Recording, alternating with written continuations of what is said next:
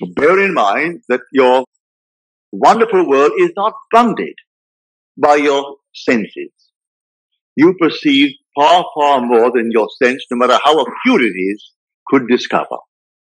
Your senses can't discover what now you're capable of assuming that you are. Your senses dictate what reason will allow. And your reason and your senses are bound together. Go beyond it. For what you now know from experience, what you know from the past will not be what you will know when you know more than you now know. But having done it and proven it, I know more than I did when I was bounded by my senses. When I couldn't get out of a certain island on time to meet a commitment in Milwaukee, I knew what I did in the army. I simply applied the identical thing and I got out. When there was a long, long waiting list, thousands waiting for all the islands, and only two little ships, not big ships, two small little ships, one carrying not more than 60 odd passengers and one carrying 120 and thousands waiting, and they only came once a month into the island. One every 32 days and one every uh, three and a half weeks. How long would it take to get them all out? I didn't ask anyone a favor.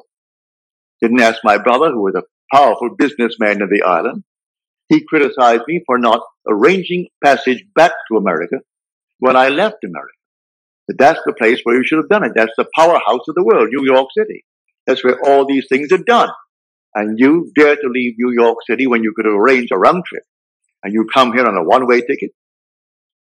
Well, I didn't ask any favors of him or any favors of any, any member of the family. I simply did exactly what I did in the army.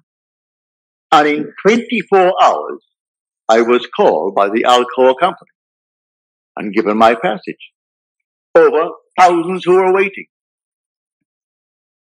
Isn't my concern why she did it or why someone else didn't get it in preference to mine, and my name is down at the very bottom. I wasn't at the top. I'm at the bottom of the list. It isn't my concern. I look into the perfect law, the law of liberty. And I persevered. I sat in a chair in my hotel room, and there I sat in the chair, and soon I am next to the boat, I'm climbing up the gangplank. Just before we had a deep water harbor. So you had to go off the sea about maybe a half mile or a mile to sea on a little tender and then take the gangplank and go up to the ship. So I felt myself bobbing as you would on the ocean and then moving up the gangplank. I could smell the rawness of the sea. Got up to the top. My mind wandered. I brought it back down again and did it all over again. It wandered, brought it back down again, kept on doing it over and over until finally I did it. I fell sound asleep sitting in the chair in the act of doing. Next day, Alcoa calls me and gives me my passage for my wife and my little girl. So I'm telling you from experience, it doesn't fail, but we must not simply be hearers of the word. We must be doers of the word. For if you are a hearer and not a doer, you deceive yourself, he tells you. For we are the operant power. This law doesn't operate itself.